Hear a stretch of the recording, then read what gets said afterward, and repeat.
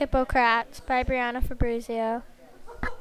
Hippocrates' lifespan was from 460 BC to 375 BC.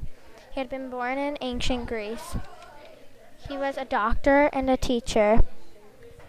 He was a philosopher of Greece and, fam- and a famous physician.